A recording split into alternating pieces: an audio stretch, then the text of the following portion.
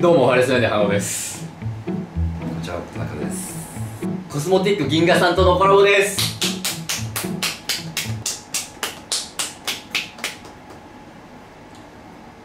ツッコミとかしたことない。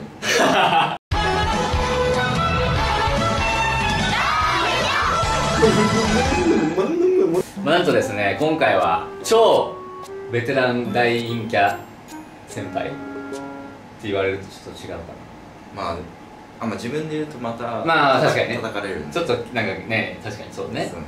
ぼっち系 YouTuber か。ぼっち系も最近叩かれるんで。今回は、えーなんとですねあのムキャ YouTuber さんとのコラボです。絶対絶対モード入ってるもん。ちょっともうだってさっきまでもうちょっとマシやったもん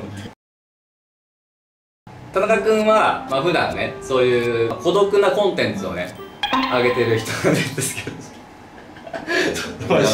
さっきまで何考えてるかなんとなく分かったつもりやったんやけど今すごいな。わかんないです。隣で YouTuber してる人見たことないんで。今日は田中君は普段なんか YouTuber っぽいことをしたことがないと。そうですね。なんか内心若干バカにしてるっていうかなんか斜め上に見てるところはあります。ああそのなんかあれね。陰キャ特有の冷めた目線みたいな。そうですね。なんかいつもありがとうとか言いたくないみたいな。ないですかなんか。ファンと配信者じゃなくて動物園と動物みたいな感そうですねまあ単純にその俗物的な YouTuber 的存在になりたくないみたいな めっちゃ言うやん。めちゃめちゃ言うやん。そうで今回は殻にこもっている田中君を YouTuber の道に引きずり出そう企画です。フィッシャーズの動画でテンション0100っていうのがあるんですよね。あれをちょっと2人でやってみようかなと思います。YouTuber って大変ですね。そうなのよ。YouTuber って本来カロリーを使うスポーツだよこねんな視聴者が裏にいるんですねなんか。なんで裏に。このカメラの裏側にねこのカメラ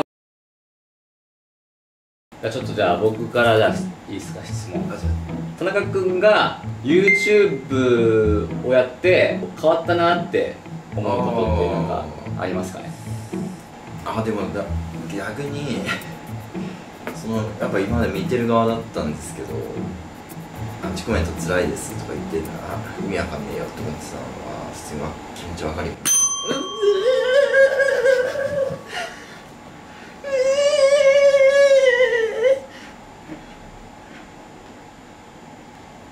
そういう気持ちはわかるようになりましたね。こちらの関東とかってよく来られたりするんですか？関東でも久しぶりに来ましたね今回は。都会がとにかく好きじゃないんですよ。一刻も早く自然に野に帰りたいっていうのが強すぎて。だから僕は山登りが大好きなんです。だって都会のビルとか囲まれたところで生活するのってとっても息苦しいよね田中君だから僕はね聞き取りたいです。なんで僕は田中君的にその友達は欲しいのかっていう。ああどうする最近最近っていうかもう逆に私友達になりますよみたいな人とか出てきますけど迷迷惑っていうかなんかいらないけどみたいな感じがしちゃうんですよね。やっぱりなんか自分の時間の方が大事なのかなっていう感じがしてきちゃうんですよね。やっぱ。それは動画のためにそうなのか本当にプライベートの感情としてそうなのかですか？ね本当の心の中はもしかしたら20%ぐらい誰かと今喋りたいなみたいな気持ちがあるかもしれないけれどそれでつながっちゃったら動画的に成り立たなくなるなみたいな気持ちによって抑えられている自分がいるのかもしれないですね。高校の、ね、連休みたいなのがなんかされてたんですか？あ連休？連休じゃないか。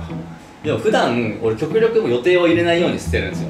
で予定を埋めたがる人いるじゃないですか撮影がなかったらずっとゲームしてますそれからねだからちょっとペットとデコと戯れたらニャーってしてますね。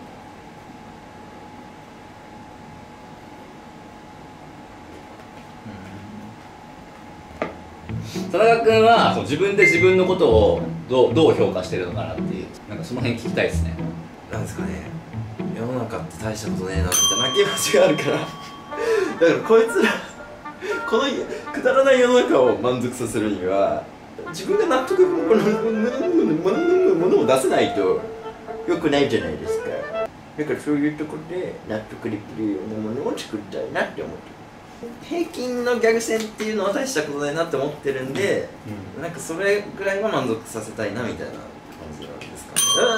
うん。もう喋ることないですそもそも YouTube って自分の身内を認めてもらうっていうスポーツやと思うな。なんか人の良さを薄めて企画で通していくっていうのは一つの手ではあるけど失うものも大きいっていうことだと思いません？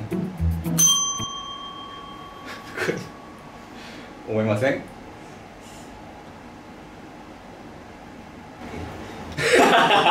好きなこう漫画アニメなんか語ってほしいですね。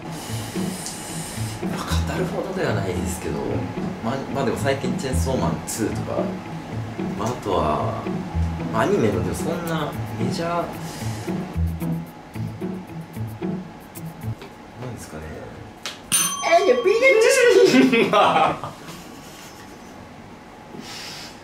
やっぱそれはせこいって